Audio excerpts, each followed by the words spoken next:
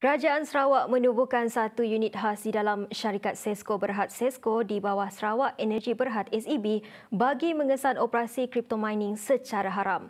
Premier Sarawak Datuk Patinggi Tan Sri Abang Jaritun Openg berkata, aktiviti pelaburan kripto memerlukan lesen yang sah sebelum beroperasi kerana kebanyakan daripadanya dilakukan secara tersembunyi. That's why some of our people, because they know that they they expect the return is more through crypto mining because of the way they explain to you.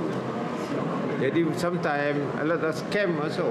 That's why I I welcome SC. At least they can tell the public this is a license crypto uh, currency trading. Because we do not know about this new instrument. Macam saya tahulah, ada orang yang tak tahu. Jadi Datuk So the one is good lah supaya public tahu.